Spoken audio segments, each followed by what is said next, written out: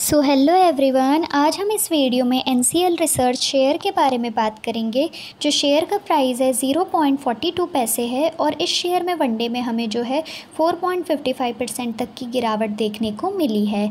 आगे हम इस शेयर के रेजिस्टेंस और सपोर्ट लेवल के बारे में बात करेंगे। उससे पहले इस शेयर के प्रीवियस रिटर्न को देखते हैं।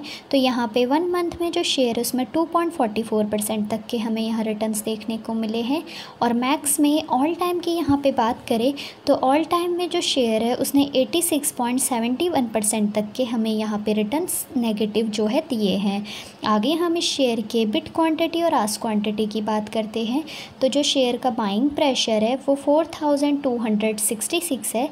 वहीं जो सेलिंग प्रेशर है, वो 5334 है। यानी कि इस शेयर में बाइंग प्रेशर तो हमें ज़्यादा देखने को मिला है, फिर भी जो हमारा सेलिंग प्रेशर है, वो बाइंग प्रेशर से यहाँ पे ज़्यादा है। आगे इस शेयर के रेजिस्टेंस लेवल को देखते हैं। तो यहाँ पे जो शेयर है, वो अपने रेजिस्टेंस लेवल से तो काफ़ी ज़्यादा दूरी पे है, यानी कि जो शेयर है वो अपने सपोर्ट लेवल के पास में है।